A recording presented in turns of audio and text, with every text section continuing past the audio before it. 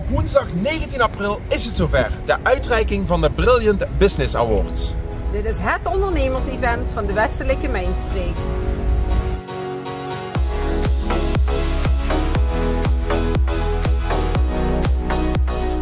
Helweg Kozijnen is genomineerd in de categorie Diamant.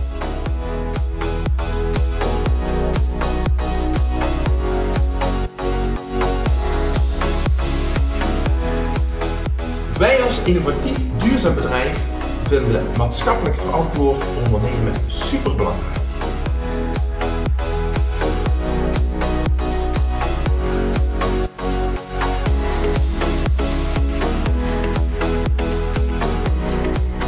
Wij wensen alle genomineerden Heel veel succes!